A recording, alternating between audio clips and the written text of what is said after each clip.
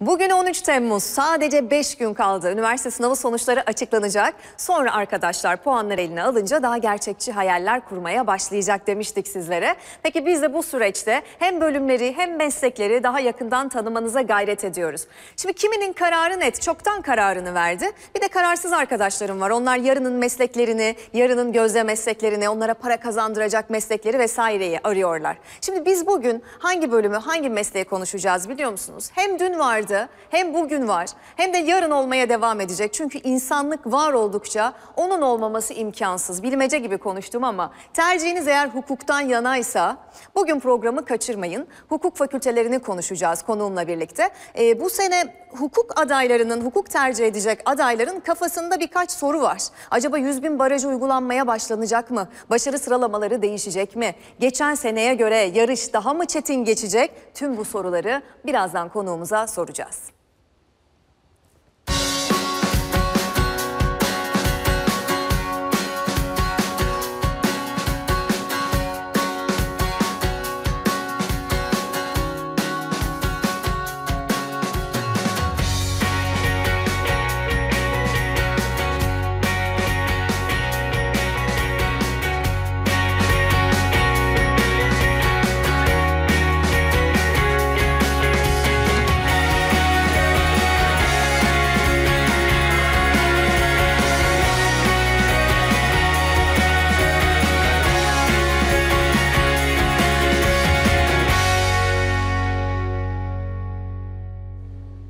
Maltepe Üniversitesi Hukuk Fakültesi Dekanı Sayın Profesör Doktor Yusuf Aksar bizimle birlikte. Hoş geldiniz hocam. Hoş bulduk. Teşekkür Ee, ederim.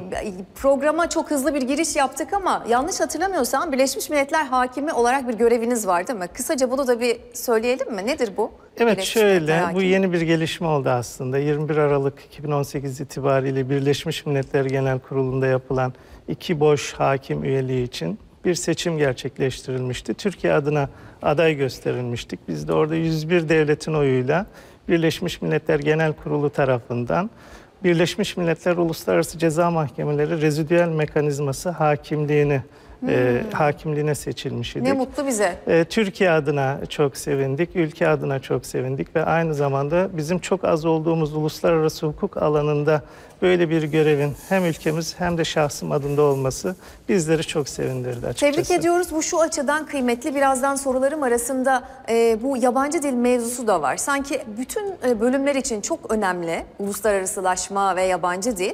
Ama sanki hukuk ayrı, hukuk ayrı gibi tutulur Evet, ya. evet. Uluslararası ortamda da şansı var mı hukuk fakültesi okuyan arkadaşların diye soracağım. Ama gelin önce bir Evet. kontenjanlara bir bakalım mı?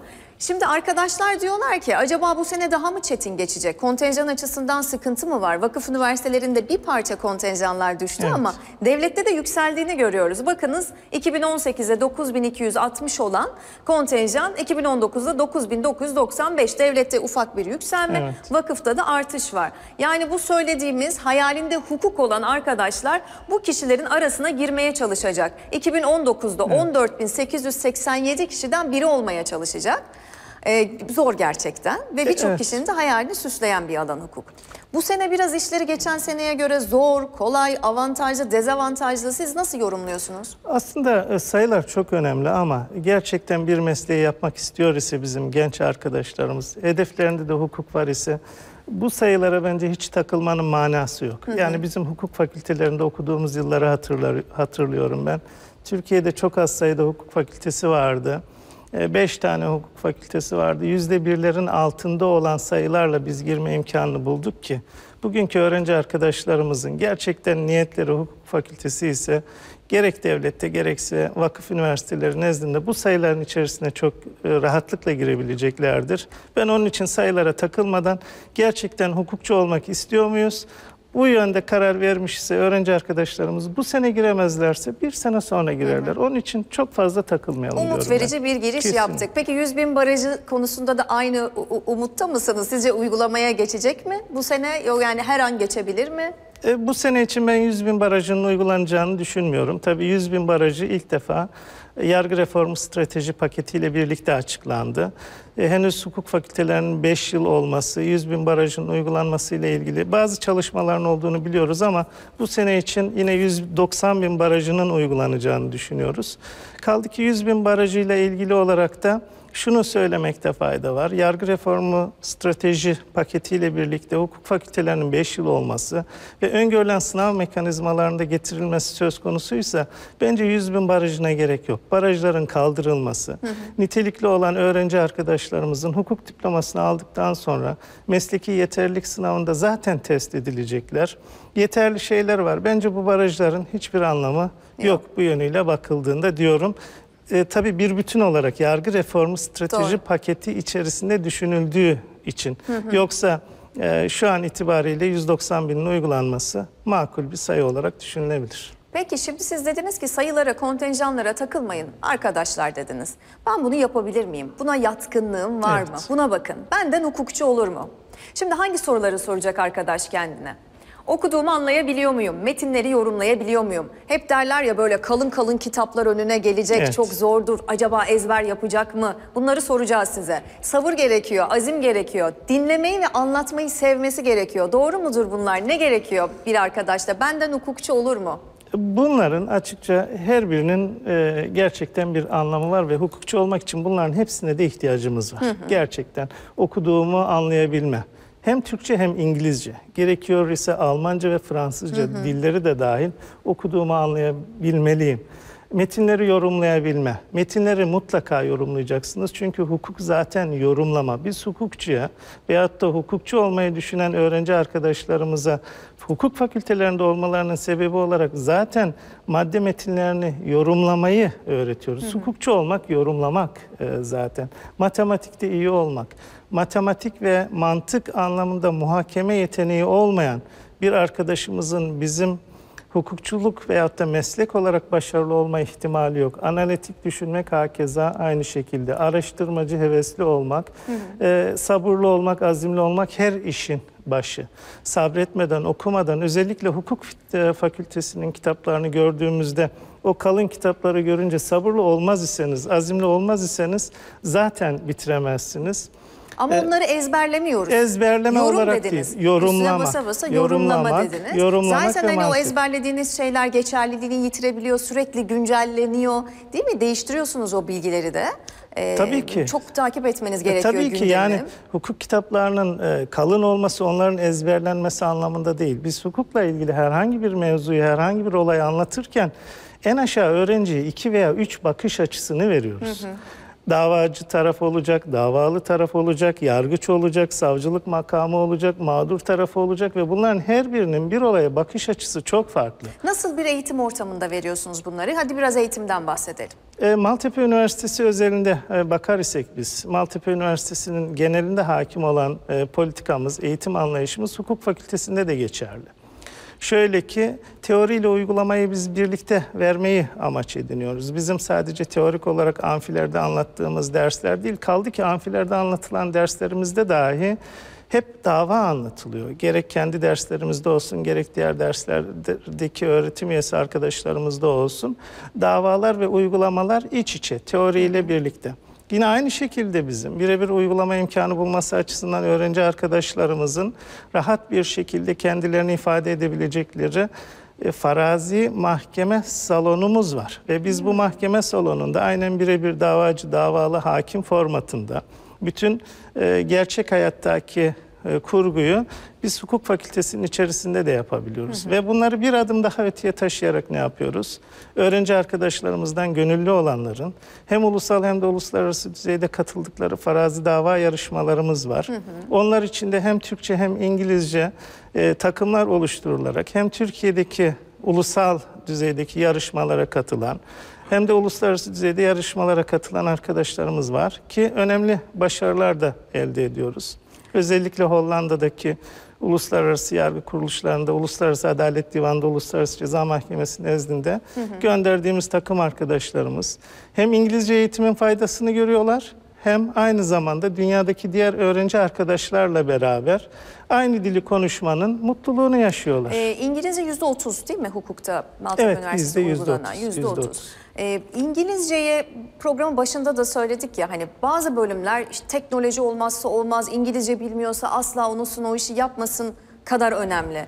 Bir hukukçunun İngilizce bilmesi ona ne fayda sağlar? Şimdi geldiğimiz dünya, yaşadığımız dünya o kadar iç içe geçti ki. Yani bütün mesleklerde artık ulusal sınırlar kaldırıldı. Evet, hukuk e, doğası gereği hep yerel olarak düşünüldü. Ama gelinen nokta itibariyle artık yerelliğin evet önemi var ama uluslararası düzeyde kurumlarımızla, kuruluşlarımızla, devlet olarak, örgütler olarak yine hukuk olarak iç içeyiz. Dolayısıyla biz bugün internet üzerinden alışveriş yaptığımızda aslında e, adlarını söylemeyeceğiz ama e, bilinen markalar üzerinden bir kitap siparişi dahi verdiğimizde uluslararası bir sözleşme yapıyoruz aslında. Doğru. Bilişim hukuku, internet hukuku, Bilişim spor hukuku. hukuku, internet hukuku, spor hukuku, uluslararası yatırım hukuku, ticaret hukuku, insan hakları hukuku, uluslararası ceza hukuku ki benim uluslararası alanda da açılışta bahsettiğimiz Birleşmiş Milletler Uluslararası Ceza Mahkemesi hakimliği görevi. Aslında bu denli eğitimin e, öğrenci arkadaşlarımız açısından ileride nere- nerelere gelebileceklerini göstermesi için de önemli.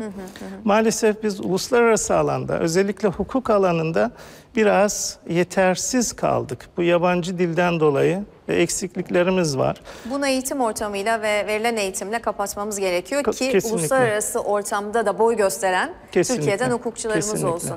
Şimdi e, arkadaşlara, hukuk e, adaylarına biraz hukuk öğrencisini göstermek istedik. Bak hukuk Evet. öğrencisi böyle oluyor. Şunlardan dert yakınıyor diye. E, ders çalışandır, kütüphanede sabahlayandır. Evet üniversite öğrencisi kütüphanede sabahlar ama hukukçular bir parça daha sabahlıyorlarmış. Kalın kitaplar arasında siz de bahsettiğiniz kaybolandır. Kahveyle dost olandır. E, uyumamak Doğrudur, için bol uyumamak bol için, kahve evet, tüketiyor evet. muhtemelen. Roma hukukundan bütünlemeye kalandır. Doğru. Anlaşılan zor bir ders. Dipnotlardan sorumlu olandır. Bu şu demek arkadaşlar. Birçok böyle not veriyor öğretmen, e, akademisyenler. Sonunda böyle minicik yıldızlar olur, dipnotlar. O dipnotlar bile önemli ve kıymetlidir. Çok önemlidir. O minicik puntoyla yazılmış, altı puntoyla yazılmış dipnotlardan bile derslerde sorumlusunuz, sınavlarda sorumlusunuz. Ve nasıl ezberliyorsun tüm bunları sorusuna maruz kalandır. Doğru mu bunlar? Hepsine katılıyorum bunların. Hukukçu çalışmalı, günlük çalışmalı, okumayı sevmeli. Ee, bunlar olmaz ise olmaz. Evet Roma hukukunda bütünlemeye kalandır. Çok enteresan. Roma hukuku dersi tabii bizim e, Kara Avrupası hukuk sistemimizin temeli olduğu için e, çok iyi, çok zevkli bir derstir. Hukuki altyapımızın da oluştuğu, çok severek okuduğum Ankara hukukta aldığım bir dersti. Ben bütün öğrenci arkadaşlarımızın bu tecrübeyi yaşamasını özellikle istiyorum. Çok enteresan oradaki e, anlatımlar. E, dipnotlar, hukuk fakültesi kitapları dipnot olmadan olmaz. Az önce dedik ki işte davacı taraf, davalı taraf, savcı, tanık, mağdur ve bunlara ilişkin her birinin bakış açısı ve bunlara ilişkin farklı yorumlar. Ee, genellikle textbook olarak yazılan kitaplarda e, öğretim üyesi arkadaşlar her şeyi yukarıda anlatamıyor o kalınlıklara rağmen. Farklı görüşler, farklı şeyler dipnotlarda oluyor. O dipnotlar çok önemli. Dipnotlardan da mutlaka sorular çıkıyordur, çıkması da gerekir. Nasıl ezberliyorsun sorusuna maruz kalan e, ezber değil. Bunun mantığını çözmek en önemlisi. Çünkü ezberlediğimiz şeyi e, kanunlar değiştiğinde bir gecede tamamen ortadan kalkması gibi bir şey var. Ezberle hukukçuluk olmaz. Hukukçu dediğimiz mantığını kullanan, aklını kullanan, e, mevcut olaylara o hukuk mantığını uygulayan kişidir. Yoksa ezberlemek kısmı hukukçuluk Bunun için için de işte o geçerli değil. bahsettiğiniz farazi bir mahkeme salonu dediniz ya işte örnek olaylar üzerinden ne kadar çok örnekler üzerinden giderse, yaşarsa orada yorumlaması da artıyor değil mi? Daha fazla Tabii, e, tabii, tabii. aslında kendini de ifade ediyor öğrenci. Birebir, Birebir. birebir. Bir de şunu ekleyelim hocam. Ee, şimdi hukuk tercih edecek adaylar mühendisliklerde deriz ya laboratuvarına baksın, koşullarına baksın. Akademik kadro mudur? Nedir hukukta bir de şuna baksın diye özellikle vurgu yapacağımız hukuk fakültesi özelinde? Kesinlikle akademik kadro çok önemli. Yani e, sonuç olarak oraya gelen e, genç öğrenci arkadaşlarımızın kendilerine örnek model olarak alacakları, bakacakları akademik kadro son derece önemli. Yine aynı şekilde imkanları, altyapısı çok önemli. Bulunduğu yer önemli. İletişim halinde olup olmaması önemli. Çift anadal yandal imkanı hukukta da var mıdır? Bizde şöyle çift anadal, yandal olarak öğrenci arkadaşlarımızdan özellikle siyaset bilimi ve uluslararası ilişkilere çok Hmm. eğilimli olan öğrenci arkadaşlarımız var. Onlara biz gereken kolaylıkları sağlıyoruz. Aynı zamanda çift anadal yapma imkanları var. Yandalda yapma imkanları var. O Öğrenci değişim birlikte. programlarıyla Erasmus kapsamında yurt dışına kapsamında. e, çıkma imkanları var. Özellikle Almanya'ya, Doğu bloku ülkelerine, yine İngiltere ile e, ciddi anlaşmalarımız var. Hatta geçtiğimiz günlerde Çin'e kadar uzanan iki taraflı anlaşmalarımız var. Burada önemli olan öğrenci arkadaşlarımızın hedeflerini çizmesi. Her şey var. Yani istediğiniz yabancı dilden tutun da e, farklı ülkelerde farklı tecrübelerle birlikte o yapıları e, görmek, e, Türkiye'de bir hukukçu olmak, uluslararası alanda kendilerini ifade etmek açısından e, okumayı seviyor ise, yabancı dili seviyor ise, e, başarılı olmaması için hiçbir e, sebep yok. E, Kesinlikle e, kampüsüyle, imkanlarıyla biz Maltepe Üniversitesi Hukuk Fakültesi olarak elimizden geleni yapıyoruz. Çok başarılı öğrenci arkadaşlarımız oldu. Uluslararası düzeyde iş imkanı bulanlar oldu. Uluslararası örgütlerde, uluslararası mahkemelerde hiçbir şey olmasa bile oradaki insan kaynakları ile irtibata geçip başvurularını yapan sınavlara giren arkadaşlarımız var. E, Bunlar bizim için, ülkemiz için büyük e, kazanımlar. Biz bu sayıların artmasını istiyoruz. Özellikle uluslararası alana çıktığımızda mutlaka yargıçlık veyahut da savcılık olarak değil. Orada yer alan e, legal advisor dediğimiz kısımda Danışman olarak istihdam, da danışmanlık olarak e, veyahut da diğer alanlarda çok önemli pozisyonlar var ve buralarda staj imkanları var. Biz öğrenci arkadaşlarımızın ufkunun uluslararası örgütler, uluslararası yargı kuruluşları anlamında Türkiye'nin dışında olmasını daha çok arzu ediyoruz. Bu programı da özellikle ısrarla uyguluyoruz. Bilmiyorum e, Türkiye ve e, öğrencilerimiz, aileleri bunu anlarlar. E, ellerindeki imkanı değerlendirirler diye düşünüyorum. Mezun olan öğrenci arkadaşlarımız gerçekten yüksek lisans doktora için yurt dışına gittiklerinde Evet. E, çok iyi dönüşler alıyoruz. E, Eğitim kalitemiz ve yurt dışındaki durumu da biliyoruz. Kendi eğitimimde yurt dışında olduğu için yüksek lisans doktora eğitiminde iyi noktadayız Biz aslında. iyi noktadayız. Öğrenci arkadaşlarımızdan ve ailelerinden sabır, çalışmak, biraz daha gayret Çok istiyoruz. teşekkür ediyoruz değerli katkınız için. Konuğumuz Maltepe Üniversitesi Hukuk Fakültesi Dekanı Profesör Doktor Yusuf Aksar'dı. Kısa bir ara veriyoruz. Aranın ardından tercihim sağlık bilimlerinden yana olacak diyorsanız bir de spor yöneticiliğini konuşacağız birazdan. Evet sınavı geride bıraktık. Tercih dönemine doğru adım adım yaklaşıyoruz dedik ama arkada görüyorsunuz spor yapıyor muyuz? Biz bunu programımızda çok vurguluyoruz. Gençler spor yapsın istiyoruz ama onlar da diyor ki vakit mi var? Vakit mi var? Yani ders çalışıyoruz, sınava hazırlanıyoruz. E, yaptığımız spor varsa dahi bırakmak zorunda kalıyoruz sınava çok hazırlandığımız o dönemde. Şimdi tekrar hatırlamaya çalışıyoruz. Spordu, sanattı diyorlar. Bakalım e, hiçbir spor dalıyla ilgilenmiyorum diyenlerin oranı neymiş? Kadın %50,3, erkek %25,7. Futbola ilgimiz var. Voleybol, fitness, alta doğru gidiyor. Tenis, yüzme, diğer. Hani sağlam kafa sağlam vücutta bulunur diyoruz ama eğitim sistemimiz sınav odaklı e, koşturmak zorunda kalınan belli dönemler var. Orada ne yazık ki arkadaşlar spordan bir parça uzaklaşıyorlar. Ama ben spor benim hayatımın merkezinde olsun istiyorum. Hatta işim olsun istiyorum diyenler için bugün programda ilk defa spor yöneticiliğini konuşacağız. Çokça konuyu konuşuyoruz biliyorsunuz hukuk, mimarlık, mühendislik ama ihmal ettiğimiz bir alanda çok sevindik. Değerli bir konuk stüdyomuzda birazdan soracağız. Spor yöneticisi nedir? Benden spor yöneticisi olur mu? Aklınıza ne geliyor spor yöneticisi deyince? Hani bu spor salonlarında size idman yaptıran eee, hocalar mı geliyor? Ya da ne geliyor? Böyle takımlar, büyük kulüpler var. Onların yöneticileri mi geliyor?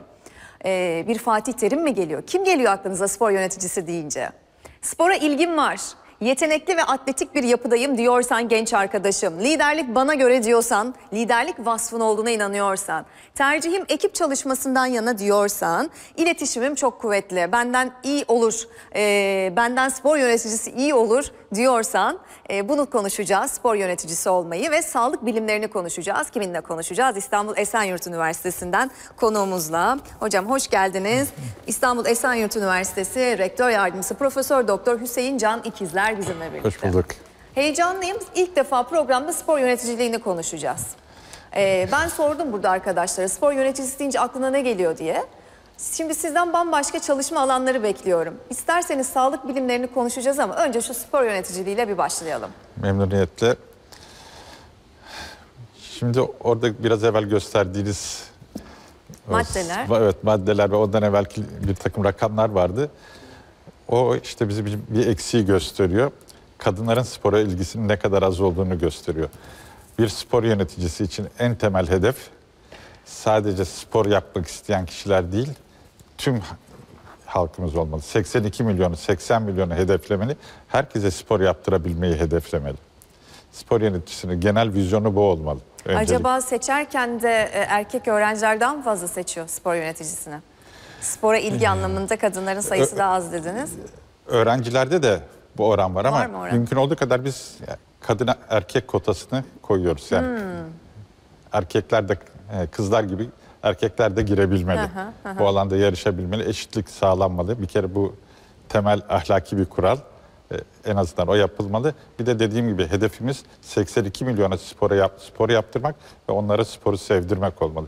Spor yöneticisinin temel görevi de bu. Böyle olduğu zaman çok geniş bir iş alanı ve iş imkanı var. Yani Nerelerde işe gireceğiz? Bitirdik Bir kere- spor yöneticiliğini. Tüm ülkede spor kulüpleri var. Amatör ve profesyonel spor kulüpleri Tamam. var. Bunların hepsi bunlar için potansiyel iş imkanı. Devletin bakanlığı var ve Gençlik Spor Genel Müdürlüğü var. Bütün illerde var ve bütün illerde yüzlerce spor tesisi var ve spor organizasyonları var. Yerel yönetimler, belediyeler, belediyelerin hepsinin spor tesisleri var. Hepsinin spor işletmeleri var. Buralarda çalışanlar var. Bunların her birinde bu kişiler çalışabilirler. Özel spor tesisleri var biliyorsunuz. Evet. Özellikle bu fitness merkezleri, zindelik merkezleri. Buralarda çalışabilirler. Ama bence e, şöyle bir şey daha var. Yani spor yöneticiliğinin güzel bir imkanı, sporun imkanı diyelim. İki alanda spor çok yakın, iç içe. Bunlardan bir tanesi turizm, bir tanesi sağlık. Böyle düşündüğünüz zaman spor yöneticilerinin iş imkanları çok daha genişliyor. Doğru turizmde değil mi? Turizm. Birçok spor alanı var tesislerin. İnanılmaz bir şey. Şimdi mesela Tunceli'yi ne kadar duydunuz bilmiyorum ama şu anda Munzur çayını, oradan işte paraşütle yamaç Tabii. paraşütü yapanları, Tabii. orada rafting yapanları, Artvin'deki Çoruk Nehri'ni, oradaki raftingi, bütün bunlar organizasyon. Spor organizasyonları işte. Hem de turizm. İkisi bir arada olduğunu düşünün. Geçenlerde Nevşehir'deydim mesela. Orada bir doçentlik jürisinde. Oradaki öğrencim Nevşehir'de bir otelde çalışıyor. Oraya turiste getiriyor. Onlara spor imkanları da sağlıyor. Çok güzel bir yer biliyorsunuz. Turistler için cennet gibi bir yer. Aynen evet. Peki kışın ne yapıyorsunuz dedim. Kışın da hocam buradan otobüs geliyorlar. Şehri gezdiriyoruz, kalıyorlar. Otobüsle Kayseri'ye götürüyoruz, dağa çıkarıyoruz. Orada Kayak kayak, da yapıyorlar. yapıyorlar. İşte bu Bir- spor yöneticisinin organizasyonu diyorsunuz değil Tabii, mi? tabii. Yani en önemli şey sadece memur olmayı düşünmesinler ve düşünmüyorlar. Sporun böyle bir özelliği var. Girişimcilik de çok önemli ve ben şunu gördüm. Spora girenler, spor yöneticiliğine girenler e, işsizlik gibi bir dertle uğraşmıyorlar diğer alanlar gibi de. Öyle mi? Şimdi çalışma alanlarını sayarak başladık ama biraz eğitime dönelim. Ee, özel yetenek sınavı da var tabii ki. Evet. Ee, bir, bir bahsedelim mi? Nasıl öğrenci alır ve nasıl bir eğitim sürecinden geçer? Şimdi spor yöneticiliği bütün Türkiye çapında hemen hemen her yerde, e, bütün üniversitelerde var. Önce onu söyleyeyim. E, her- Çok birçoğunda özel yetenek sınavıyla alınıyor. Bu da çok normal. Çünkü e, yaptığınız işi bilmeniz lazım. O işin içinden gelmeniz lazım ki o o alanda ilgili ihtiyaçları bilesiniz.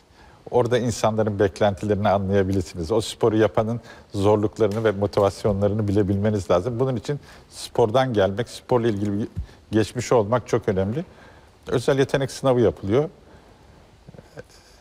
Başarılı bulunan Baş- arkadaşlar. Başarılı bulunanlar evet. Yani bunlar da zaten öyle çok yorucu, çok zorlayıcı e, şeyler değil. Ama sonuçta bir seçme olması gerekiyor. E, herkes de işte İlgisi olanı e, bekliyoruz ilgisi olanı diyorsunuz. bekliyoruz. Tamam. Burada spor yöneticiliğine bir virgül koyalım ama şunu söyleyelim. Sosyal medya hesaplarımızdan sorularınızı iletin. Hocamızı göndermeyeceğiz program çıkışı. O sorularınızı kısa kısa yanıtlasın olur mu? Şimdi biz çünkü sağlık bilimlerine geçelim. Ee, İstanbul Esenyurt Üniversitesi'nde Sağlık Bilimleri Fakültesi. Hangi bölümler var? Bir Şimdi hatırlayalım. hem Sağlık Bilimleri Fakültesi var hem de Sağlık Hizmetleri Yüksekokulu var. Evet. iki yıllık. E, bes- özellikle yani çağımızda en önemli şey e, nasıl diyelim? E, Beslenme. İnsan ömrü uzadığı için bir takım hastalıklar daha fazla gözükmeye başlıyor. Biz de kurarken bu ihtiyaçları düşünmüştük, ona göre kurduk. Fizyoterapi çok önemli. O var. Beslenme ve diyetetik var. Sosyal hizmetler var. Bunlar sağlık bilimlerinin bölümleri. Sağlık hizmetlerinde ise tekniker yetişiyor biliyorsunuz iki yıllıklarda. Bunlar da işte tıbbi görüntülü tıbbi laboratuvar tekniklerindeki yardımcı elemanlar, anestezi, ameliyat, ameliyathane vesaire buralardaki yardımcı elemanlar yetişiyor.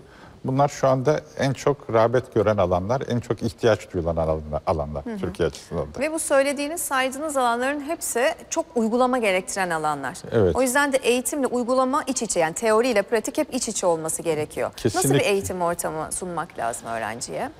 Şimdi e, bu stajla ilgili bazı yerlerde stajları kaldırdı, zorunlu stajları kaldırdı yok ama bazı alanlarda da kalkması mümkün değil. Bunlardan en önemlisi sağlıkla ilgili olan alanlar. Oralarda staj çok önemli.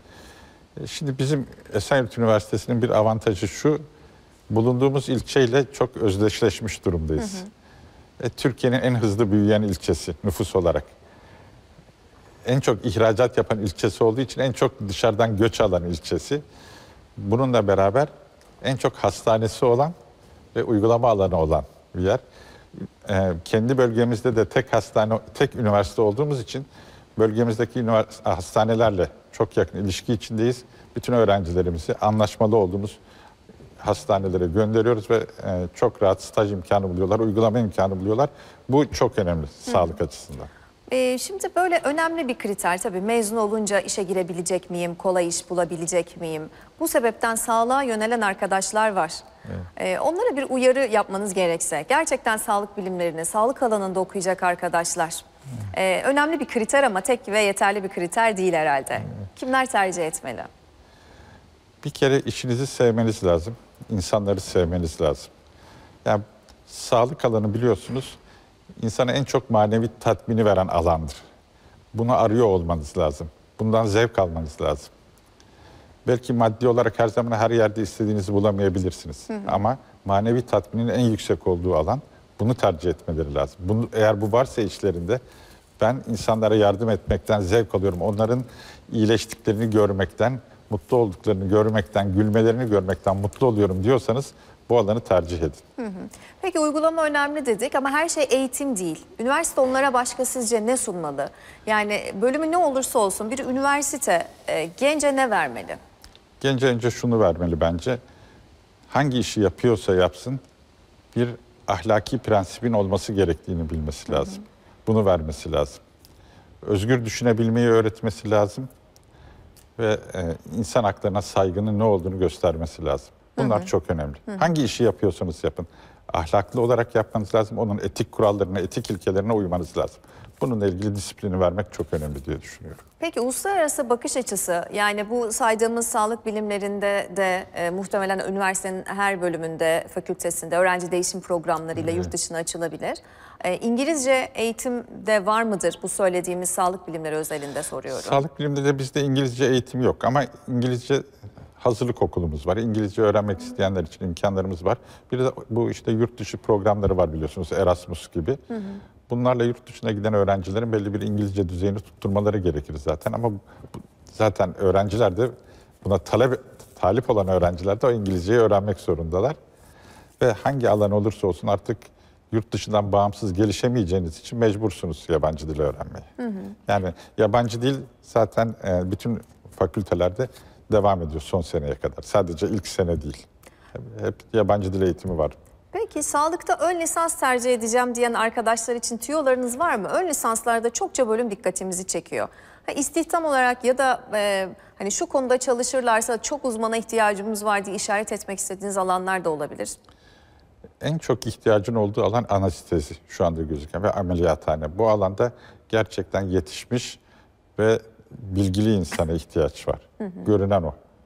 Evet, hastane sayısı gittikçe artıyor. Özel hastaneler artıyor. İşte şehir hastaneleri kuruluyor, devlet hastaneleri kuruluyor. Ve hepsi devasa hastaneler. Ve buralarda özellikle bu tür çalışanlara çok ihtiyaç var. Ve işleri de çok önemli. Yani ameliyathane çok önemli, sterilizasyon açısından çok önemli. E, Sonradan bakım çok önemli. Özellikle bu ameliyat sonrası bakım e, büyük bir sorun Türkiye'de. Onu o alanla ilgili çalışmalar, sosyal hizmet çalışmaları bence çok önemli şu anda. Ee, peki biraz kampüsten de bahsedelim mi? Üniversite yerleşkeden de bahsedelim mi? Ee, öğrenciler yani artık baktığımızda dünyadaki bütün sorunlara işte multidisipliner farklı bölümlerden e, birileri bir araya geliyor ve sorunlara çözüm buluyor. Üniversitede de bu yapı e, var mıdır? Yani bir başka bölüm öğrencisiyle sağlıkta okuyan bir öğrenci bir araya gelir proje yapar. Bu tür şeyleri önemser misiniz yapı olarak var mı ve bize verebileceğiniz örnekler? Evet, e, şu anda bizim bir tane ana kampüsümüz var. İki tane de hazırlanmakta olan kampüsümüz var. Bir tanesi çok büyük ölçüde zaten hazır gibi. E, çok geniş sosyal alanı olan bir e, tesis. Biraz deniz kenarında güzel bir yer. E, burada hem işte aşçılık, beslenme gibi alanlarla sporu bir arada götüreceğiz. E, diğer sağlık eğitimlerinin içinde özel yeni bir kampüs yapılıyor. Çok büyük, geniş. İnşallah e, multidisipliner çalışmalar oldukça hızlı bir şekilde ilerleyecektir. E, dediğim gibi özellikle bu e, aşçılık ve gastronomi şu anda çok revaçta. Beslenme ve diyetetik. Bunun uygulama alanlarının çok geniş olması gerekiyor. Yalnız turizm hizmetlerinde değil, sağlıkla ilgili olarak da. İşte bunu e, koordineli bir şekilde e, yeni Gümüşyaka'da hazırladığımız bir kampüsümüz var. Orada gelecek sene eğitimlere de başlayacağız. Peki buradakiler oraya taşınacak mı? Şimdi şöyle bizim servislerimiz var zaten. Servislerle götürüp getireceğiz. Ya burası kapanmayacak yani. Yok yok hayır hayır kapanmayacak. Tamam. Orası ekstra. Hali hazırda öğrenciniz olan varsa bir anda eyvah ne oluyor Yok taşınıyor yok o muyuz tabii ki çok demesin. büyük bir sorun. Özellikle Anadolu'dan öğrencileri yolluyor anneler babalar. Tabii. Çocukların kalma ve barınma imkanları ile ilgili e, biz üniversite olarak onu sağlamak zorundayız. Yani o, üniversitelerin kendi görevi. Onları oraya götürüp getirme, ulaşım bizden olacak. Peki çok teşekkür ediyorum hocam katkınız için. Bir cümle adaya seslenmek isteseniz ne söylersiniz? Üniversite adayı sağlık bilimlerini tercih edecek bir cümle. İnsanları seviyorsanız, mutlu olduklarını görmek istiyorsanız bu alanı tercih edin. Çok teşekkür ediyorum. İstanbul Esenyurt Üniversitesi Rektör Yardımcısı Profesör Doktor Hüseyin Can İkizler bizimle birlikteydi. Evet programlarımız tüm hızıyla devam ediyor. 18'inde sınav sonuçları açıklanacak ama biz 17'sinde yine Habertürk ekranlarında sizlerle buluşacağız. Ve ondan sonra da her gün yayınlarımızla karşınızda olacağız. Tercih dönemi sonuna kadar. Ee, 23-29 Temmuz arasında aslında tercih günleri ama işini son ana bırakmak istemeyen adaylar şimdiden odaklandı. Araştırmalarını hızlandırdı. Ee, bizler de programlarımızı hızlandırdık. Kaçırdığınız programlarımızı yolun başındayken.tv adresinden takip edebilirsiniz. Ayrıca her türlü sorunuz için lütfen sosyal medya hesaplarımızdan sorun. Uzmanlarla sizi buluşturmaya devam ediyoruz. Hoşçakalın, görüşmek üzere.